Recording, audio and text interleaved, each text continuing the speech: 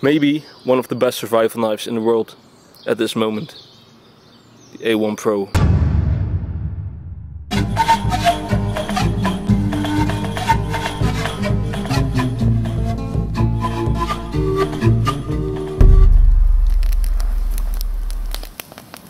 Hello YouTube, Dutch Bushcraft Knives here. Today I'm going to do some batoning, feather sticking and chopping with the A1 Pro. As you can see I have sharpened it, uh, gave it a nice mirror polish again, like, uh, like I did on the F1 Pro. Again I'm really really pleased with the sharpness the COS tool has uh, after sharpening and uh, of course the A1 Pro won't get as sharp as the F1 Pro because of the geometry obviously. The apex of the bevel is in a larger uh, angle than uh, with the F1. This is a chopper slash batoning knife, all-round survival knife. So uh, you don't need that very thin, thin edge. Uh, what I've also done is I've added this uh, lanyard, which uh, I crafted with a paracord bracelet. As you can see, this this burn piece is where um, I've um, glued the paracord together by burning it and I have strengthened that with this paracord bracelet. So this will never come loose. So this is safe. I can put my hand through here. This sits comfortably uh, on my wrist. And now I can uh, hack with a lot of force on this knife. Taking the knife, holding the knife on the till. I can get really it. So yeah, really important to have a lanyard on this um, A1. And what I noticed uh, on the F1 Pro and on the A1 Pro is that the sheath closes on the place where the lanyard hole is. So that's not very practical, but it has enough room to go a little bit underneath there. But as you can see, it does fit, but it uh, takes a little bit more strength. I think this will uh, eventually go well because of uh, this will stretch a little bit. So sharpness,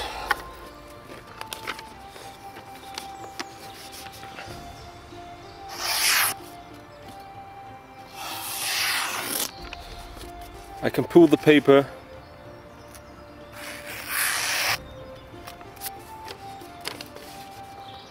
paper is a little bit moist because it was on the ground.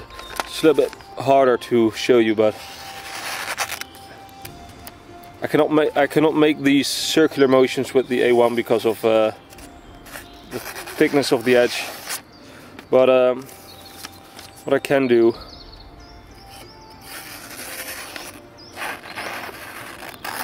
is make these waves even on this already cut paper as you can see very sharp.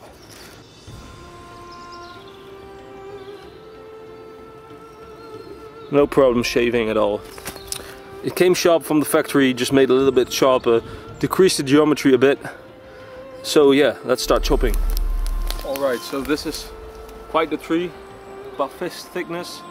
Let's see how this knife uh, performs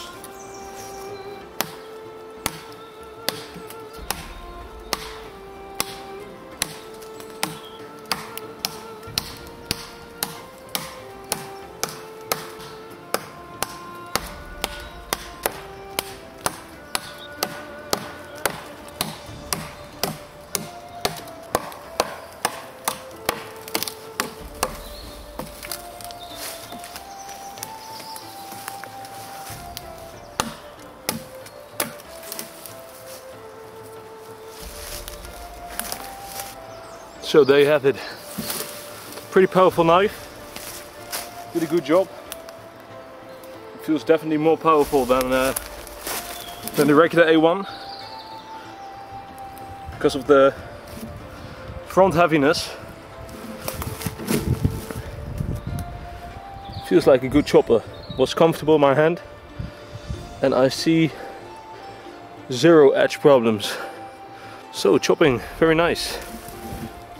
Felt very powerful in my hand. Had a good swing, um, no hot spots. Very good impression.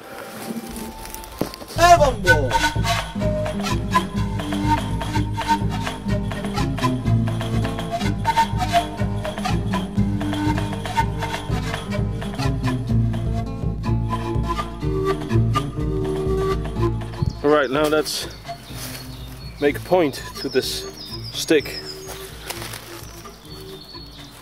using the A1 Pro.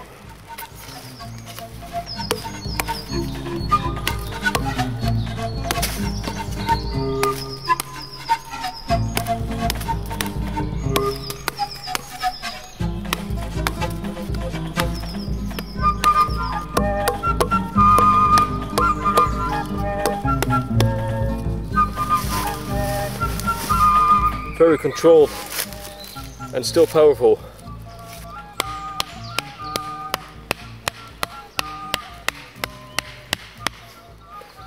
Knife even has enough power to drive this stake into the ground enough to stand there quite firmly, quite sturdy. So this knife is heavy enough to use as a as a kind of baton for uh, maybe uh, hammering in 10 pegs, wooden 10 pegs, or maybe a piece of wood for your snare trap. So yeah, regular, regular A1.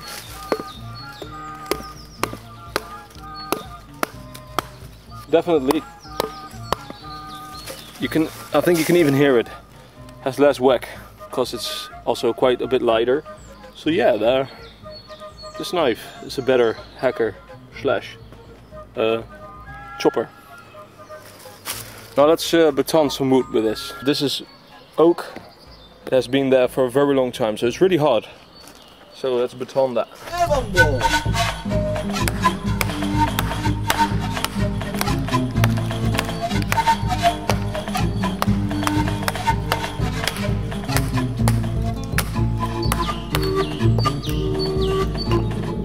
no problem.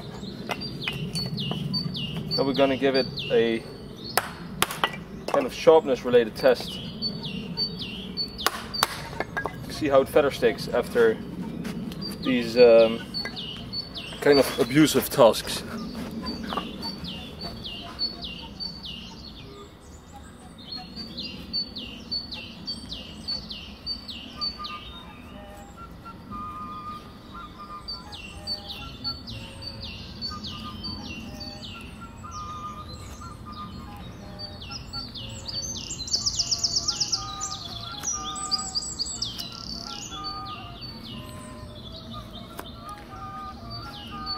Convex is really rolling over, over the wood, which gives it a really nice feel.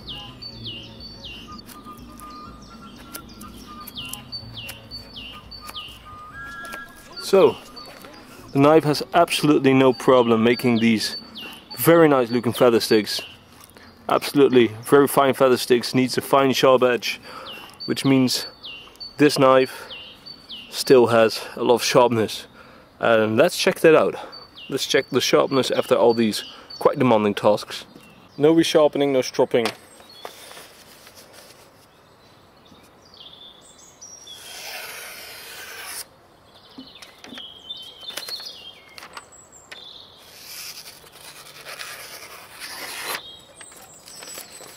That's pretty amazing, isn't it? No edge problems at all. That's still crazy shot, man. The COS2 is awesome. I already knew that from the uh, F1, but keeps surprising me. Because of course I couldn't do hard chopping with the with the F1, and this proves that this is kind quite a tough steel. I don't really listen to uh, what they say about a steel on paper because um, it also uh, depends on the heat treat it, is, it has been given. So for example, um, on paper, CPM 3V has a really, really high toughness, but uh, if it has the, the wrong heat treatment it will still chip quite easily. Yeah, this COS steel seems to be very sturdy. This back feels kind of dull, so I don't think this will uh, be a good scraper for, for, for a fire steel out of the box.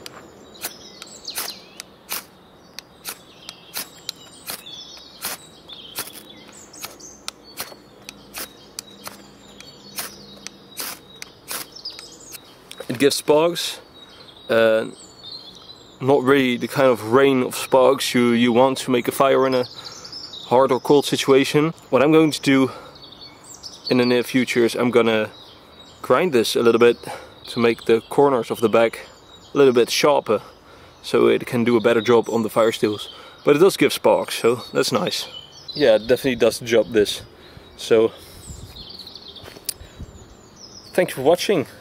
Oh yeah, my first impressions of this knife are really good. I'm uh, really hyped about this knife. The regular A1 was my favorite and uh, this might soon take over the place of the regular A1 to be my new favorite knife. Um, the COS was awesome. Um, I can't really say that is my favorite steel uh, because I just haven't used it enough to make it my favorite steel. The first impressions are good, but to really give conclusions about the quality of a steel or heat treatment, uh, you have to experience the knife over over time. So yeah, that will still take quite a long while for me to really know what this knife is about. But first impressions are really good. And yeah, definitely worth my money in my case. Of course, these tests can, can, give you an idea about how this knife performs, but it doesn't prove how a knife performs. Because I all the tests were too short to really give uh, to get a good conclusion about the knife. But overall, I'm I'm really pleased with this knife, and the sharpness it still has is just amazing. So, yeah, I'm really happy with this knife. Maybe one of the best survival knives in the world at this moment. The A1 Pro, the beast. Over and out. Please like and subscribe. Alright, small update. I cleaned up the knife completely, uh, washed it, and there are almost no scratches on these on the mirror polish. Of course, there are some slightly visible scratches, but to my eye, it is still a good mirror finish. So um, even the softer outer layers of this knife are quite scratch resistant in uh, the case of wood of course, because sand particles will always make deeper scratches. But yeah, I'm, I'm really pleased with this knife. It's a power knife.